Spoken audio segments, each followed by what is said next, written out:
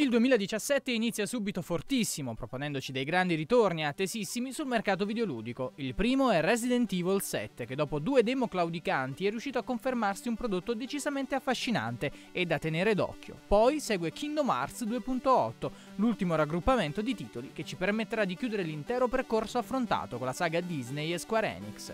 Senza dimenticarci poi di Dragon Quest 8, che torna a 11 anni di distanza su Nintendo 3DS dopo il suo debutto su PlayStation 2. Sono trascorsi esattamente 11 anni da quando il nostro soldato ha dovuto accompagnare il re e la principessa in un lungo viaggio alla ricerca di una soluzione per la loro maledizione. Spariti completamente gli incontri casuali che portano tutti i mostri sull'Overworld, Dragon Quest 8 riporta tutti i giocatori europei indietro nel tempo, quando su PlayStation 2 Enix provò l'ultimo assalto al mercato occidentale, proponendoci una piccola perla del mondo JRPG che finalmente torna in auge.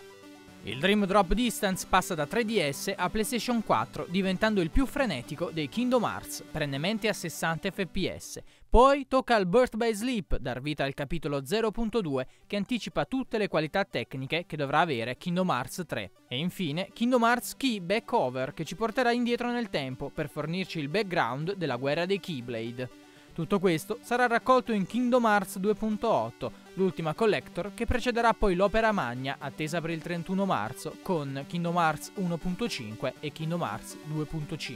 Probabilmente Resident Evil 7 sarà la prima killer application per il PlayStation VR ma il nuovo titolo Capcom è atteso anche su Xbox e PC, ridisegnando lo stile dei recenti capitoli e portandoci in un horror completamente in prima persona, che condizionerà ogni nostro passo, mettendoci un altissimo livello di ansia addosso e infilandoci in una strana villa dove accadono eventi inaspettati e che non possono essere controllati da un normale umano. Il 24 gennaio sarà anche il momento di tornare in Giappone e rivivere gli avvenimenti del dicembre 1988 tra Kamurocho e Sotenbori, una ricreazione dell'area di Kabukicho di Shinjuku a Tokyo e di Totonbori a Osaka. Stiamo parlando chiaramente di Yakuza 0 e la sua grande novità in attesa dell'arrivo di Yakuza 6 sarà la possibilità di cambiare stile di combattimento nel corso della nostra battaglia sia per quanto riguarda Kiryu che Majima.